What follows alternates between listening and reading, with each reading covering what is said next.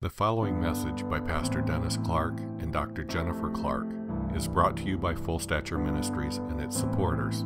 For more information about Full Stature Ministries, please visit forgive123.com. That's forgive123.com.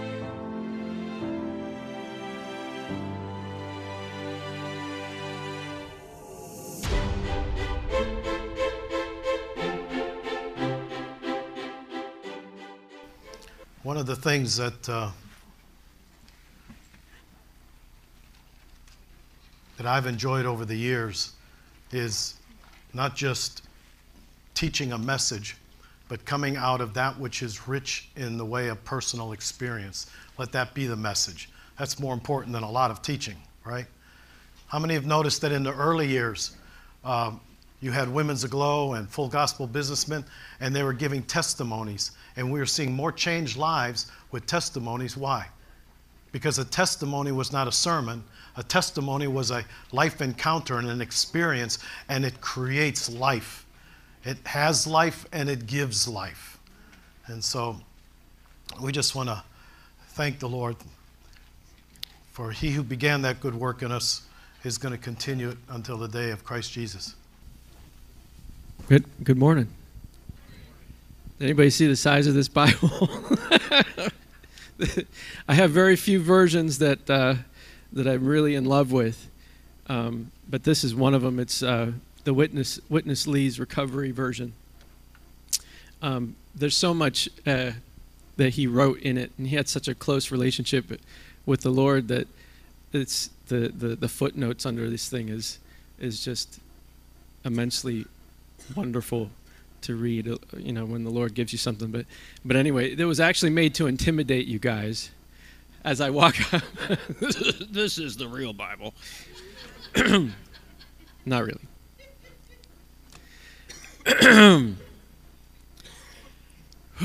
We thank you father for this wonderful day. We thank you father for the for our progressive healing that's happening even now. We just we just ask Lord that you would be with us today. We know you are, and we just praise you and worship you for who you are. I had this amazing thing happen to me on Pi Day. How many of you know what Pi Day is? It's it's kind of a nerd thing. It's March 14th because it's the circumference uh, of a circle based on its diameter is 3.1415, blah, blah, blah. Anyway, so it's March 14th. March 14th, God spoke to me in a really interesting way. Um, I was praying with a, with a, with a young man um, earlier in the week, and and I felt like when I was praying with him, I was also asking it for myself, and I said, Lord, just have him, you know, I was just asking the Lord to speak plainly to to him uh, as far as some of the different choices that he needed to make and, and things. Just just speak plainly, you know. Um, Jesus spoke in parables so that he would be able to speak plainly to those and have them understand the kingdom that that weren't that and and and, spiritual things, um, and get concepts that they normally wouldn't have gotten at all. It would have been nonsense to them. And so I said, if Jesus did it, and that's how he speaks. Lord, I want that too. You know, I was praying for this young man, but I, I was like, Lord, just speak plainly to me this this next week. And and what was what came out of it was really interesting. On the on the 14th, he woke me up with a vision, and I don't normally have a lot of I don't have a lot of uh, visions. Is is like I'm I'm actually seeing this playing with my eyes open playing out like a like a like a like a dream, but was wide awake. And what I saw was a a stage and it was kind of like a reward ceremony of some sort or, an awards you know something that you would see televised normally and the opening act was a comedy a, a well-known comedian and while he was going through his comedy routine I was waiting for him to start bashing the, the president and bashing, you know, this and that, and and it wasn't. It was okay. It was relatively clean, which is not was abnormal for this particular person that he showed me. And and it just kept going on and on, and I was like, this is this is really strange because I'm I'm ser- I'm I'm actually seeing this in front of me happening, wide awake. And I was like, okay, what what are you what are you showing me here? And while he was speaking and he, was doing his in the middle of his opening, I, I can't remember what that's called, but the the opening uh, monologue, yes. And and this man, this particular man that he showed me was is very prominent. I mean, he's does it all the time for for opening things. Well, anyway, and he he stops mid sentence in one of his just in the in the middle of the, the, the monologue and he starts cursing about Jesus. Well, here I thought he was going to start bashing the president and you know this and that and but he he he went right for the the religious aspect and and and started bashing Christians and and Jesus Christ himself and um, saying that he was wicked and perverse and twisted and backwards and all of these things and i immediately got mad. I was like uh, immediately i just anger rose up and was like he, he's talking about my lord you know? And and uh, and and i immediately wanted justice. And that's when it got really interesting because it was I was stopped at that point and the Lord spoke to me plainly and said, "Why are you angry, Jason?" And it got me it knocked me down a couple steps because I knew that I knew what was coming next was you're not supposed to be you know uh, this is this is just the way that he spoke it to me I said but because he's he's telling lies about you. He's he's he's you know everything about you. All these things are, are incorrect, and and and and and justice needs to be served. He needs to be set straight. That was my first. That was that was my first response. And so often I believe that, that, that that's our first response in a lot of cases towards people. And let me just go on because I know that this isn't this isn't this shouldn't be our first response. He said, Why are you angry, Jason? Why are you angry?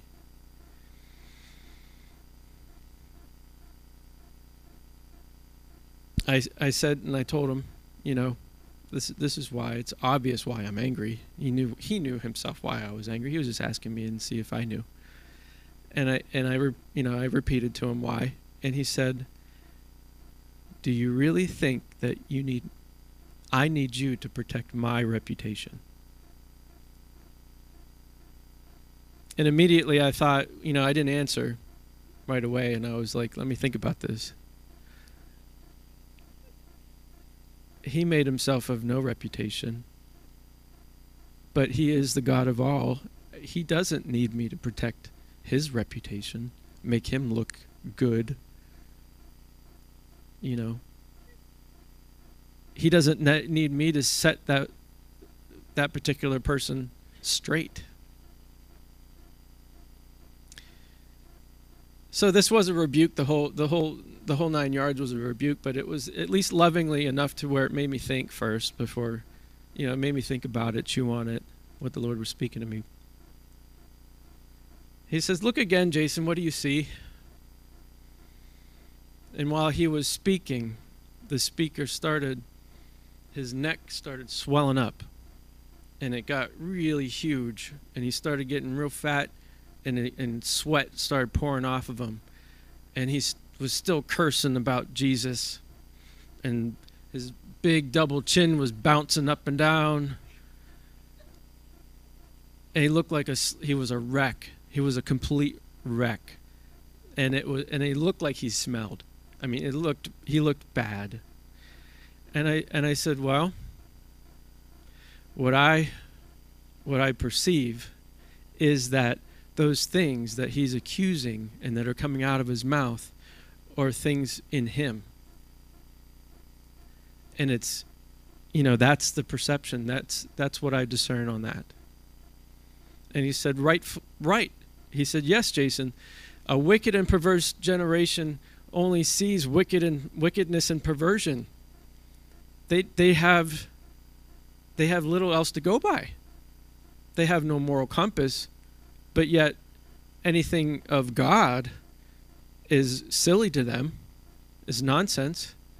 Hearing even even you know people listening to this you know what I'm explaining is to some people are to say that it's absurd. He actually hears from God. He's a Looney Tune.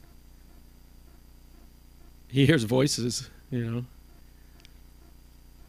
But what what what what really transpired here was you know he said rightfully so that's that's what happens. Sinners act like sinners. So why would you why would you judge that? You know and and try to set them straight? They're they're going to act like the their father this is the devil. But he sent me to another place and said but what's my heart jason where am i in this picture is basically what he was asking me where am I? What what what am I here for? And I tell you what, there's two times in my life that I felt this presence. When he said those things, this overwhelming compassion and and love just overwhelmed me like hot oil. As I was looking at the same picture and had still had the same discernment this hot oil of, of love penetrated from my head down to my feet. And I and I went, He's without hope. And he said, Right, Jason. He says, I want you to give them hope. Because it's a world without hope. And they need me. And that's why I died for them. I don't care about what they say about me but it's what I could do for them. But we need you. I need you. He needs us to be his hands and his feet. He needs us to be able to express that love and that consideration, that empathy, that compassion.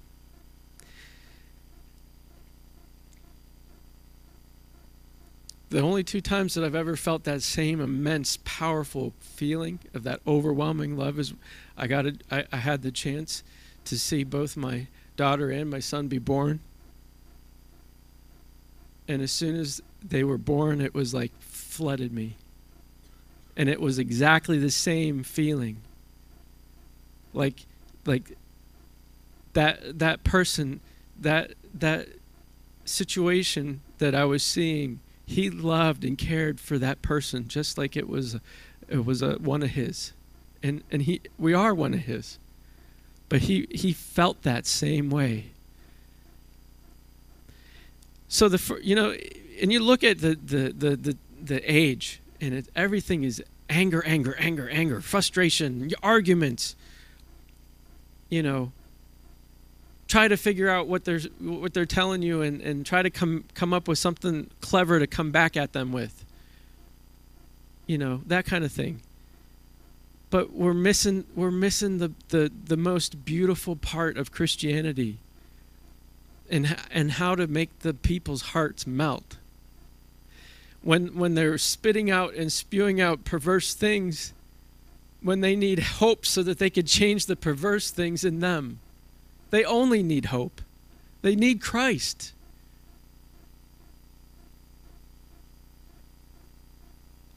When you see that, you don't get angry right away. You go, oh man, if I have something in me that can fulfill and change part of them so that they can have some type of transformation in their life, let's see it done. Amen? We do. We have what's real and what's living and what's flowing out of us. If we allow it to flow out of us and we, we receive wisdom from above, which is pure, we can speak to them in, in a, in a, in, and it would be fruitful. It would be timely in a compassionate way. We don't have to argue against something that is maybe even part of it might be true and hurtful. But that's not the point. The point is love.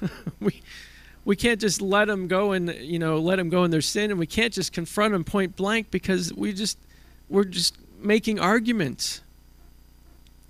But if we show if he shows us how to get in and to, to deliver that little nugget of hope, if he gives us a little door, or a little crack in the door, and we're able to give a little nugget of hope to them, that's what they need. That's the difference between being a Christian and, and just saying that you are.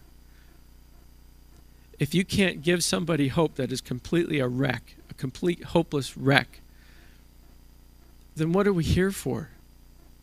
It's it's interesting that there was there was a comedian that had several years back got born again and, and actually had a really good um, a really good conversion. You, you don't usually see that in Hollywood.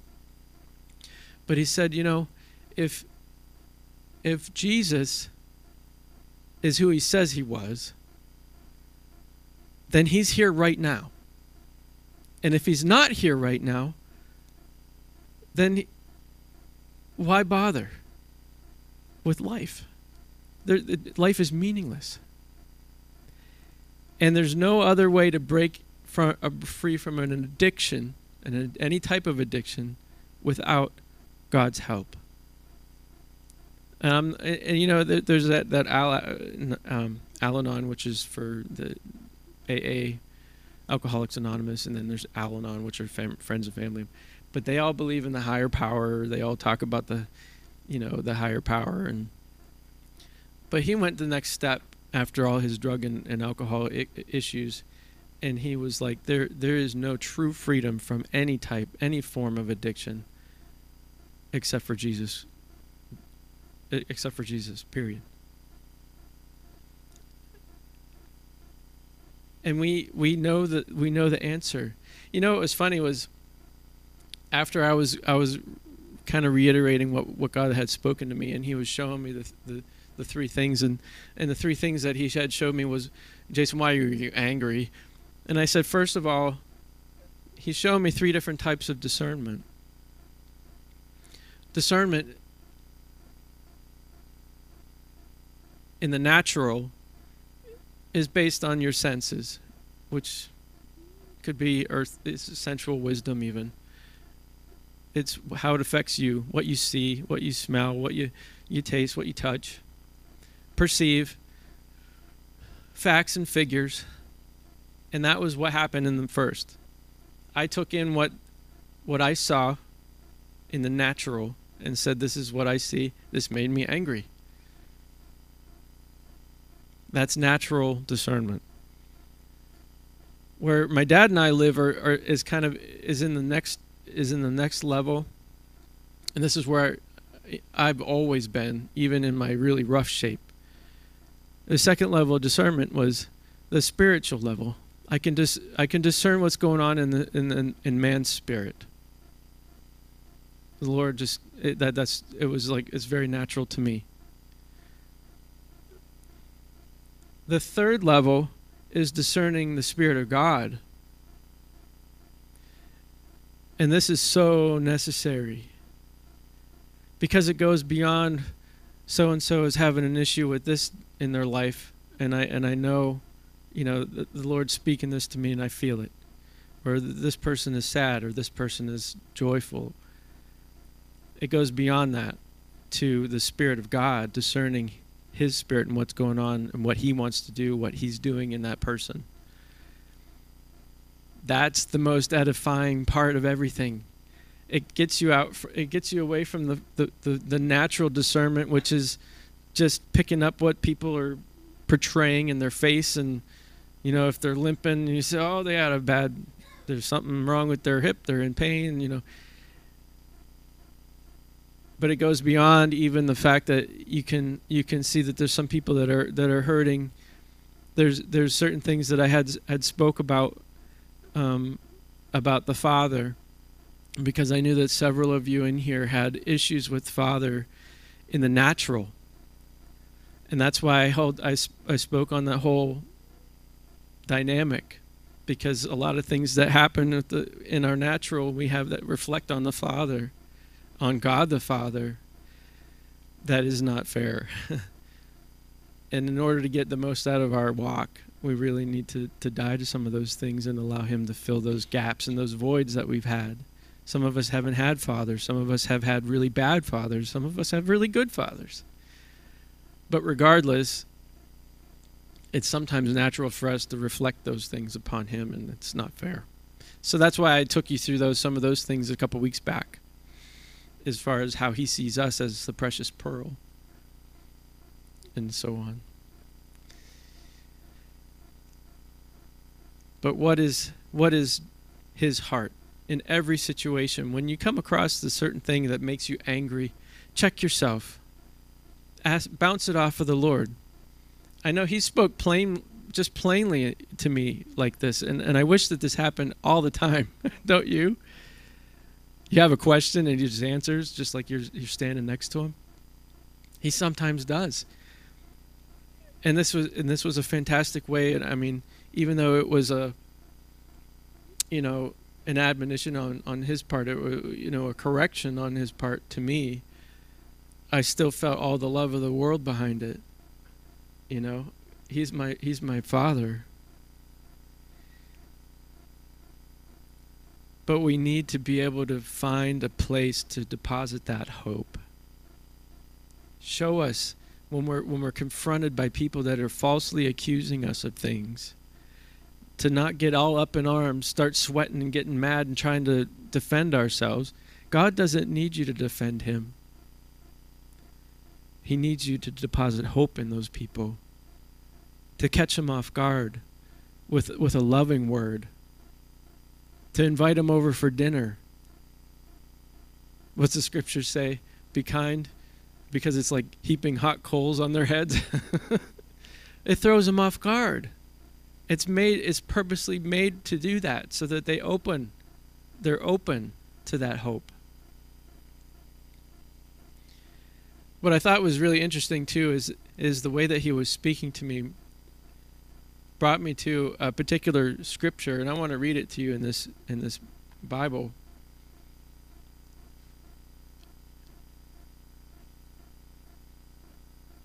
Uh, Jonah chapter 4. Everybody knows the story of Jonah, Jonah and the whale. But the way that the Lord was speaking to me, Jason, why are you angry? It reminded me of the scripture. So I thought maybe I'll just go ahead and read through this and see if it pertains to anything.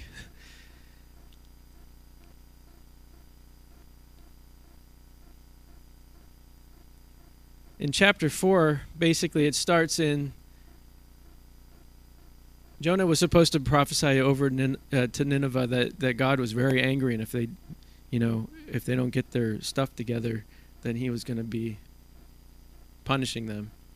But Jonah wanted not to do that because he didn't feel that it was fair that God would forgive them. Anyway, starting in verse 4, it says, and this is right after Jonah had spoke to them and God repented of his evil towards them and said basically that they'll, that they'll live and, and everything will be okay.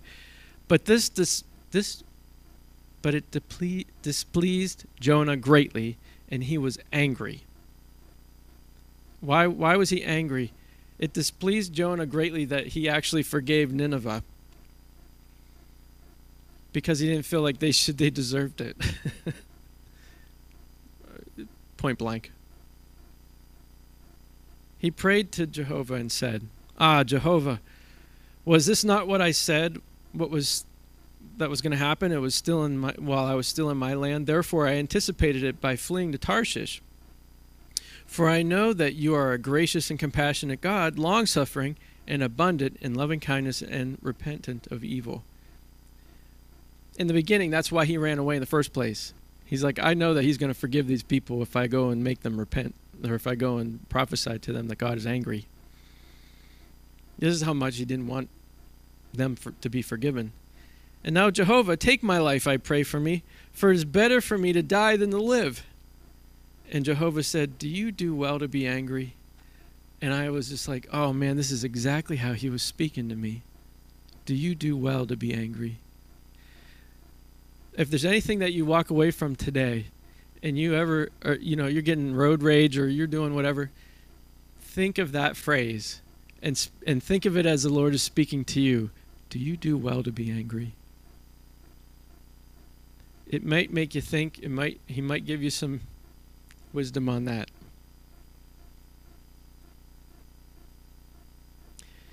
He didn't answer him. He didn't answer god when he asked that question. He said it, it, the, the scripture goes on in verse 5 Then Jonah went out from the city, and he sat to the east of the city, and he made a booth for himself there, and sat underneath it until in the shade until he could see what would happen to the city. So he basically was sitting there and watching.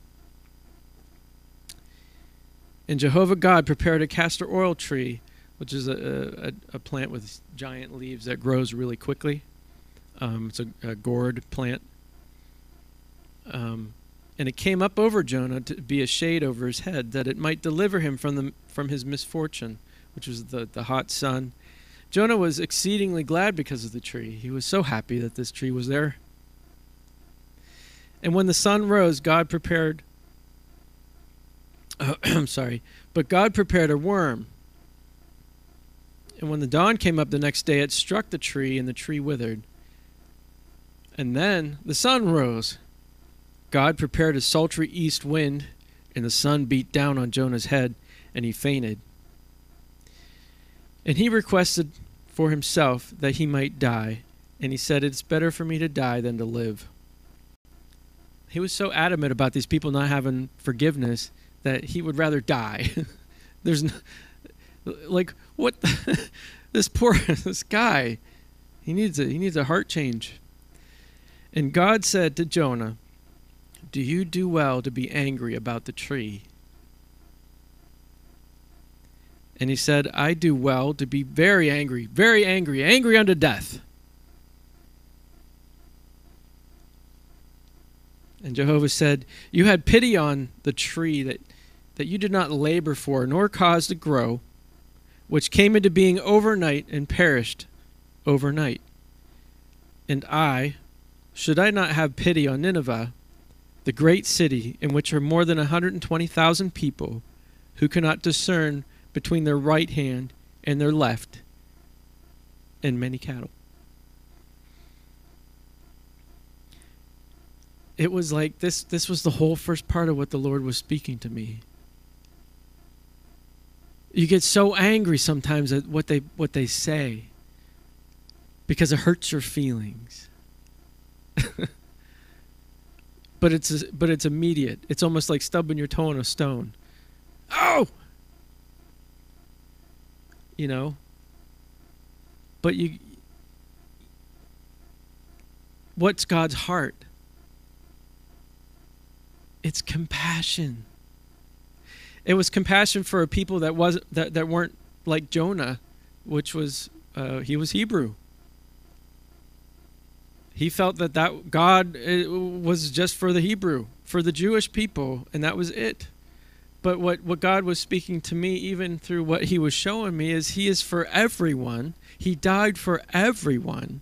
And, and it includes the people that you think are despised, that you think are ignorant, that you think are mean, that are unloving.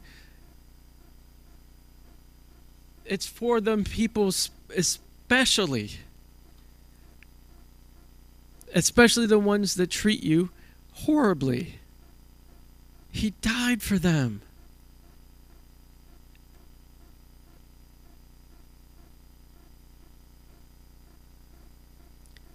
We need that door of hope to be cracked.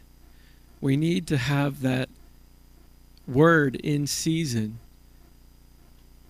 that can get in through their senses, just like Jesus used the parables to get into their senses. what the kingdom of God was about, the spiritual things of God, we need to have wisdom. Pray for wisdom to speak that just that one word that goes into that crack that blossoms and grows, that gives them hope. You know, there's so many things that we do. You know, we, we I was told, you know, growing up, or even in, even in, in some instances in, in Bible school, where you can't change everybody. You can't go in and change. Every, sure, that of course you can't, and that's not your job to do. So that you just be an example. So you just go and. But see, we've taken that be an example, be a, as a Christ follower. But we've taken it too too far to where we've separated ourselves we're just a follower of Christ. They they'll follow us if they see that there's something good that we have. But we're actually ignoring the people. We can't. That's not what we were designed for. We were supposed to yes, follow Christ. But not just follow him as far as he's leading me. Follow him from in here and and do what he would be doing not f- just doing good works, doing what the Bible says, but actually living his life through us is what he what he meant by being a follower, a real true follower. And what did he do? I mean, just in a picture in in the scriptures, he sat with the tax collectors. He sat with the despised. He sat with the hated. And did you think that everybody said nice things about Jesus? But it didn't matter. It it bounced off of him. It just fell off of him because of the immense amount of love coming out. Now we can't. It doesn't doesn't say grace leaves. You know, it's just all grace, grace, grace, and it leaves everybody in their sin. No. It's it's love. Grace giving giving you the ability to hear from God, to to be able to be clean, you know, and receive that precious, pure wisdom from, from heaven and be able to speak life into people. It's, it's, it's more about, it's, instead of just reading people in the natural, saying that this person's going through something, this person, it's different than, than reading the human spirit where this person's broken and this person needs a father, this person. But it's about reading the, the Spirit of God in the room in the presence and, and how much He loves us. And what does He want? Lord, what do you want?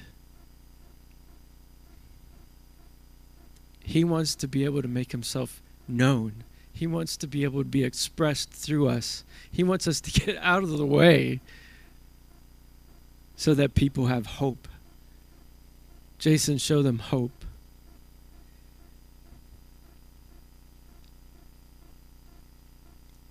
There's a there's a lost and dying world out there who is angry and bitter because they don't have hope to deal with their anger and bitterness. They feel like they they they don't know what to do. They have they have no the, the progression of, of society and, and, and, and social aspects is they call it progression, but they have nowhere to stand on. They're, they're progressing to where? From where? They have no idea you know? And it's and it's sad but if we would actually just pray for his heart pray that we get his heart pray that we get uh, new compassion you know? Not just empathy oh they, you know so you know that's it's okay but for the people that are perp- like accusing pointing i see i keep seeing people pointing and yelling and being angry. For those people that are in your face that are questioning your belief system, you don't get angry back. You, you, you go back down into the Spirit of the Lord and you ask,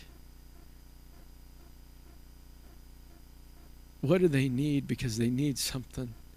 And I guarantee you the answer is hope. Amen.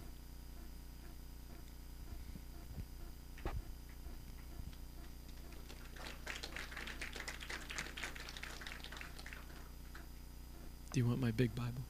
I don't, I don't want that big Bible. Thank you, Lord. Thank you, Jesus. The Lord's been speaking attitude, and we covered it last week, and I strongly suggest if you didn't get last week's message, listen to it on YouTube. It's very important. God's basically teaching us and bringing us into a level of discernment where we've got to graduate upon nitpicking and fault finding. And in reality, that what Jason's calling the first level of discernment is basically just fault finding and judgmentalism and interpreting with the reasoning mind. I could do that without being saved, couldn't you? And it's basically through the eyes of fear. Real discernment has to be through the eyes of Jesus, but it has to come from the heart of Jesus. You can't see with the eyes of Jesus till you have the heart of Jesus. And like Jason said, from the time he was little, we had our own language because we could perceive in the spirit very easily what was uh, going on in someone else. But even then, even at that second level, the goal is always redemption is the name of the game and it's never changed. Your discernment means nothing if you're accurate without application. And the, the strongest time the Lord ever taught me that, it's not good enough to have that kind of discernment. I can remember standing in front of that girl.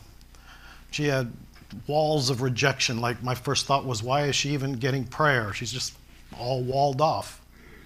And I started to walk to the next person, and the Lord said, Don't do that. And I went, Whoops. And I went back there.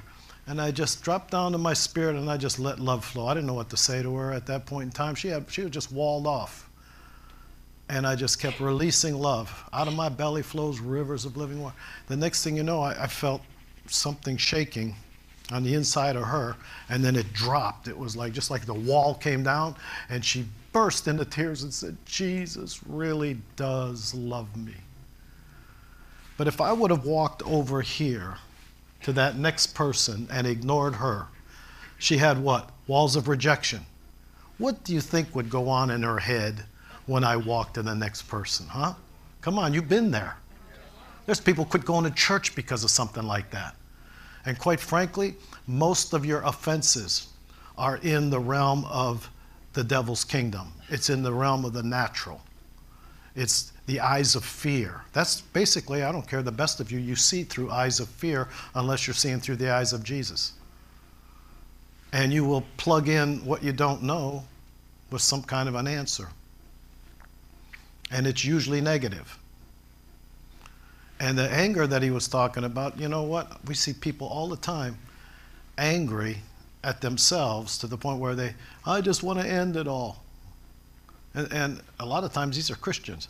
You know what it is? It's an anger problem. You just turned it inward. Depression, that's just anger toward inward. It's because you're no longer seeing with the eyes of Jesus, you're just seeing in the natural, and you could do that without being saved. There's a something I just read recently. You know, we've been talking about where God's trying to bring us to this third level. That, that, that we discern the word by knowing him as a person. It's not just ink on a page, right? We know that the, the Spirit gives life, and we want to know the Word of God as a person. All things are naked and open the eyes of Him. That second level is basically to be able to know what's going on inside of you. We traveled church to church for 12 years and found people were believers for 20, 30 years and had, didn't have a clue as to what was going on inside of them. They just stayed in the reasoning mind and tried to figure Christianity out.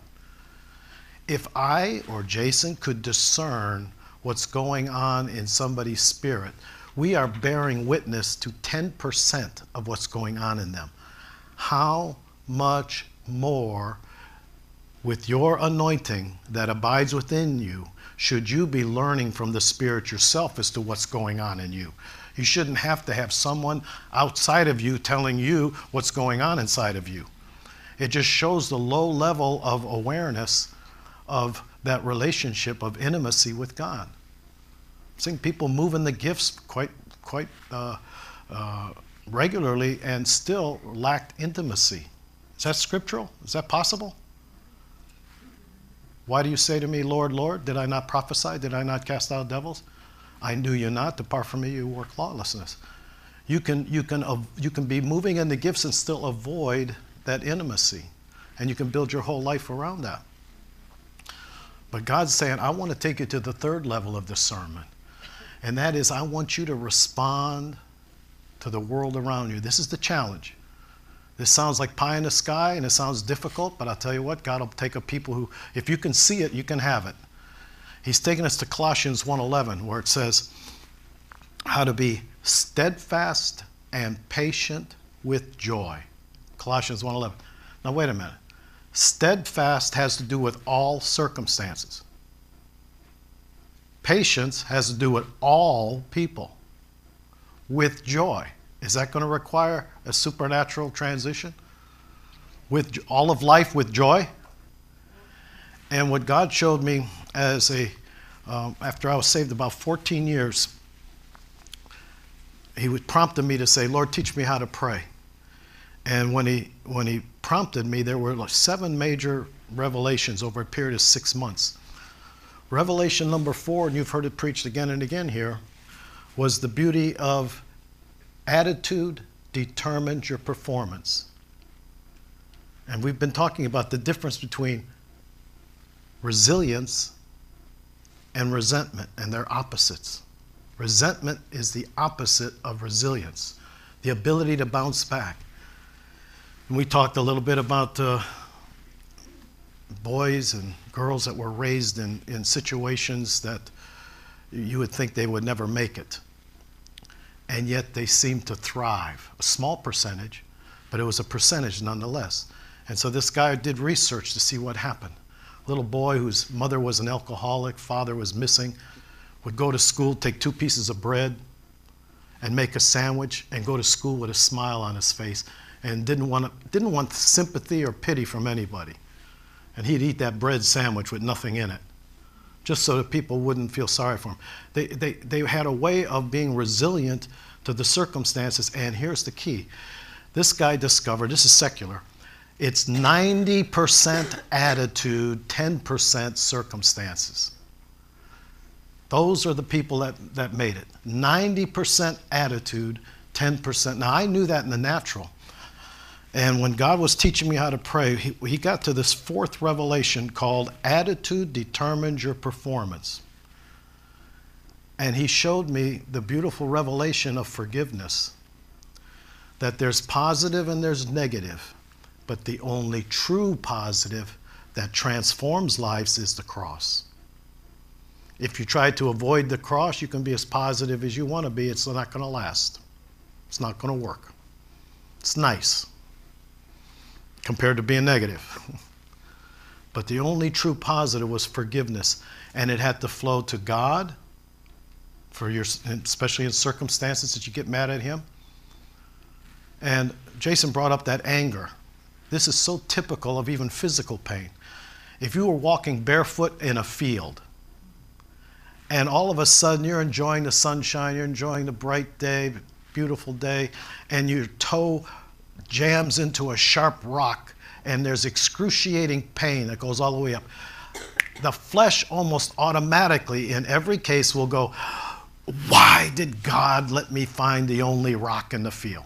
Or, Oh, Dennis, you are so stupid. You managed to find the only rock in the field. Or, who's the farmer that didn't take the rocks out of his field? Pain, anger, blame. And what the Lord showed me, you want to deepen your prayer life, then attitude will determine your performance. That it's how you respond to the situations of life.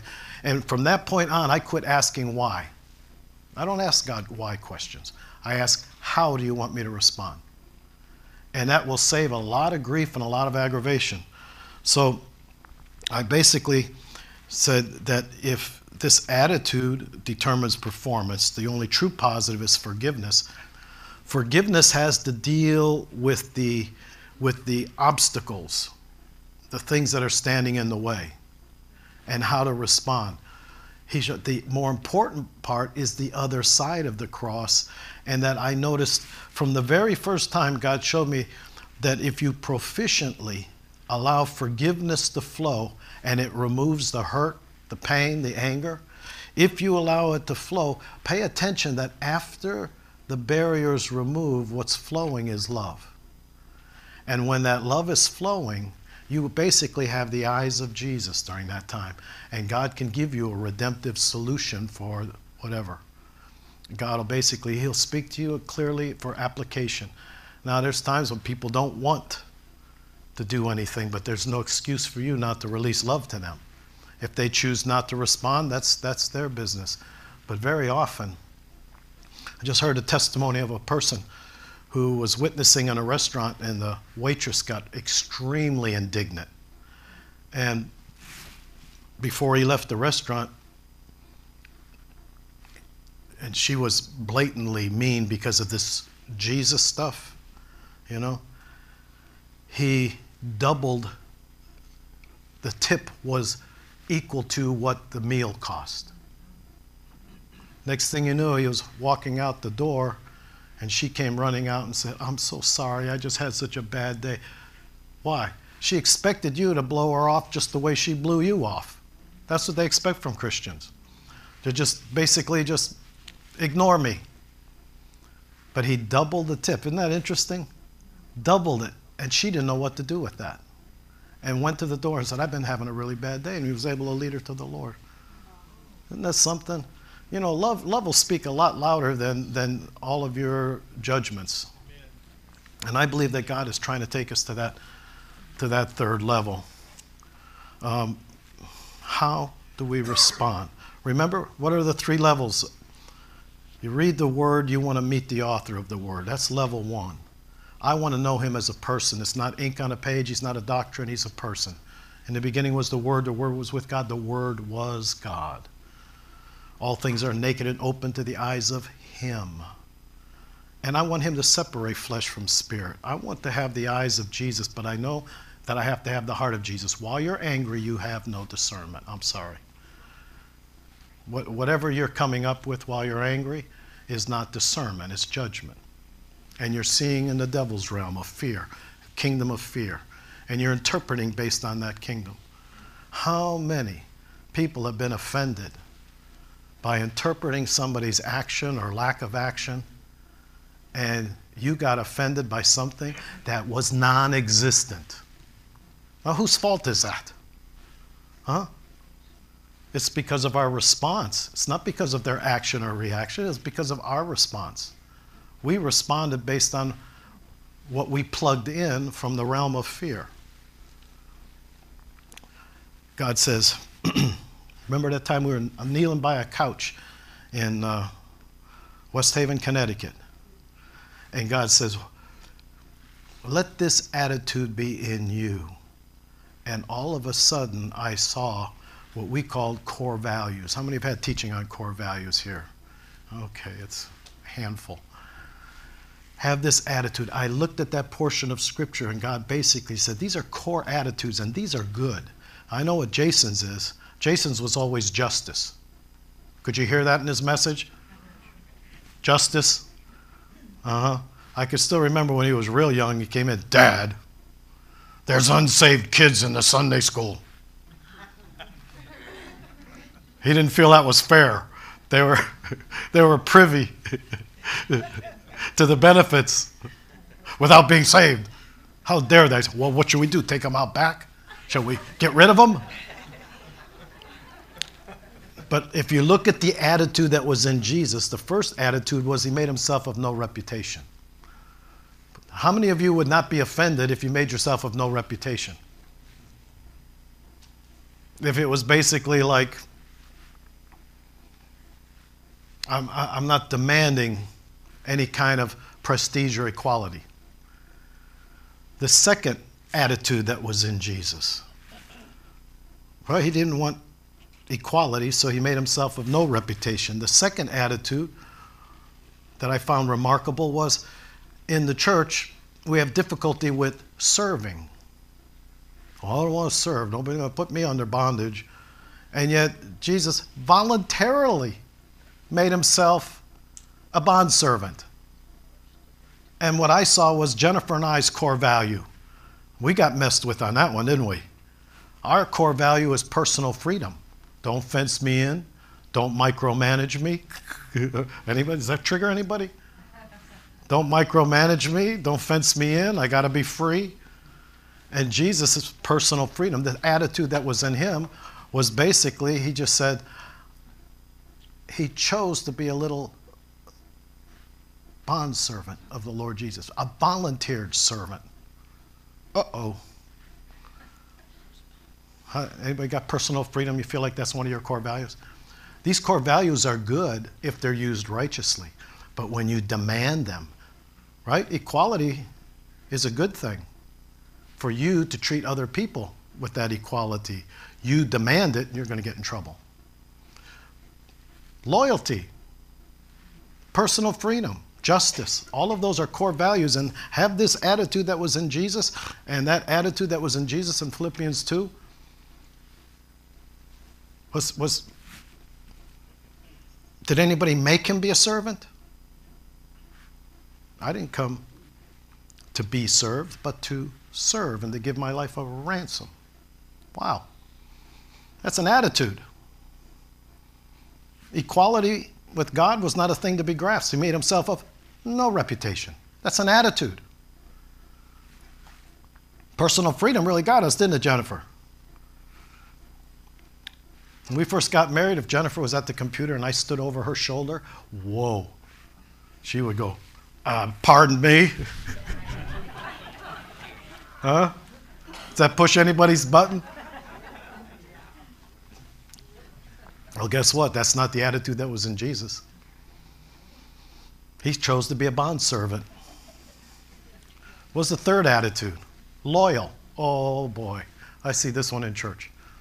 The attitude in Jesus was loyal. How loyal was he? To the point of death? Wow. You know what I see in the church with loyalty? After all I did for you. That's a loyalty only in regards of getting back in return.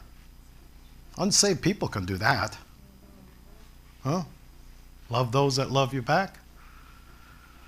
But the last one, that was Jason's. How loyal was he? To the death of a cross, the just for the unjust. And God wants to bring us in that realm of, of, of loving relationship with Him, the just for the unjust. In other words, in other words, you need to be able to see those that are performing injustices and release love to them. And look, in that release of love, you can possibly get discernment of application as to how. Jason talked about ministering hope to them. It can be more specific than that. You can actually have a word for them in season or an action like that man that doubled his tip. That doesn't work for everybody. That's not a system or a method. It's the wisdom of application when the heart is right. When the heart's not right, hmm?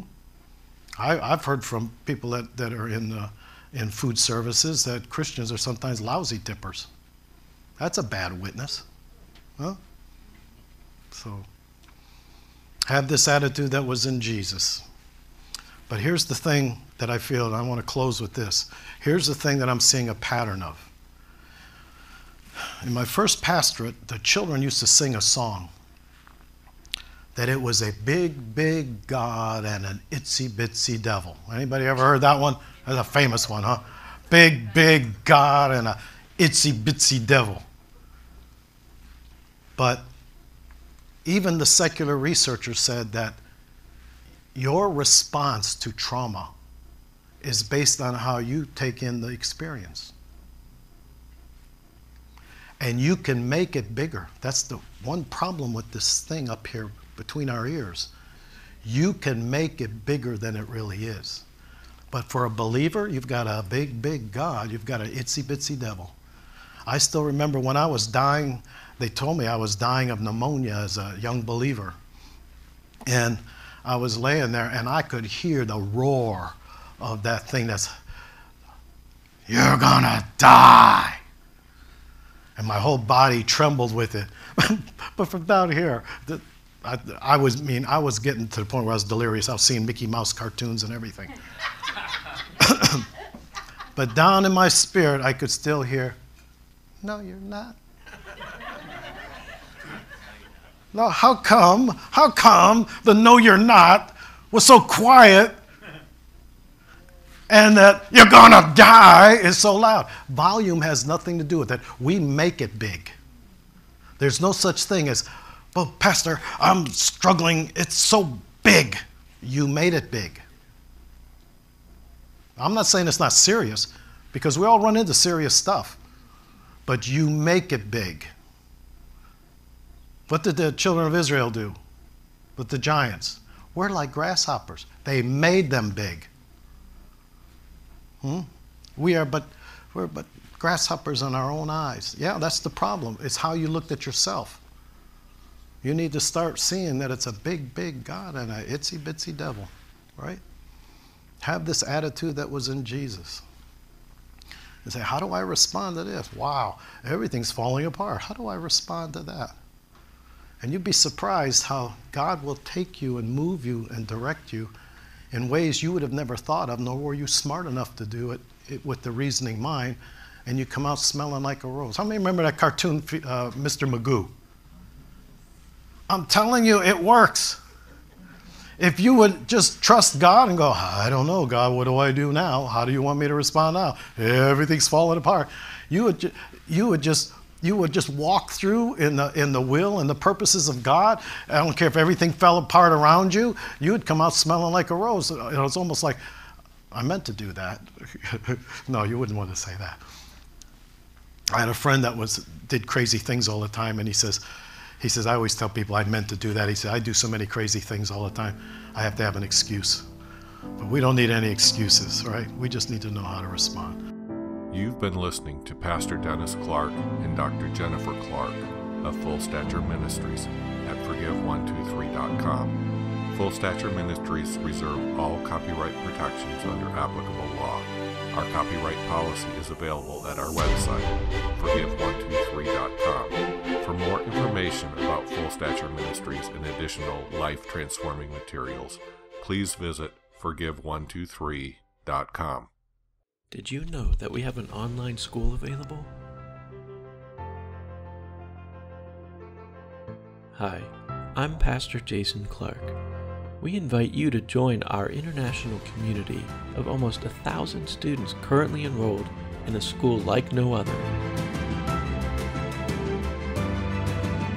Team Embassy equips believers to live in the Spirit by giving them the how to tools for wholeness intimacy with God and living the abundant life Jesus promised us.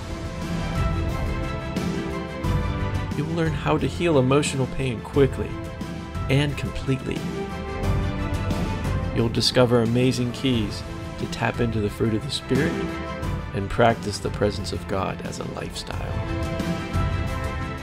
Exciting courses available include the 60 Day Challenge, Self Deliverance, healing rejection, codependency, intimate prayer, the functions of the human spirit, and many, many more.